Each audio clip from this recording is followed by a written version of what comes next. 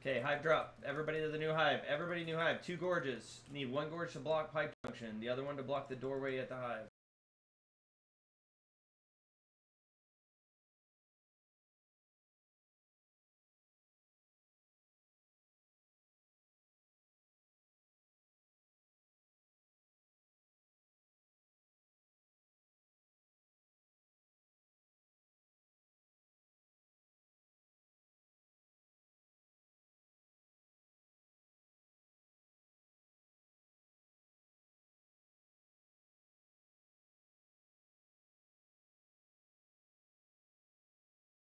Kill that RT at computer, boys.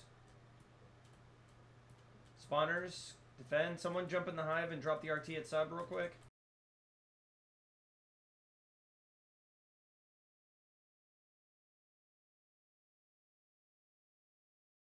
Someone drop in EGED.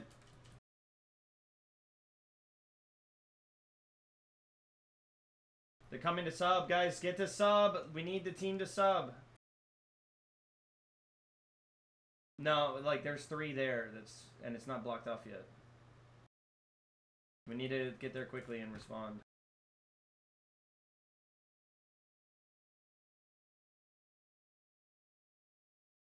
Nope, because we're rushing the leaps. The whole point of going for a second hive fast is so that you don't need a tunnel or anything like that, and you can just spawn there. So the goal is to like make sure, like to you know, guarantee that the second hive goes up. That's absolutely necessary. No, I'm just saying, like, there's no reason why I would ever spend 16 res at that point. That gets me halfway to leap.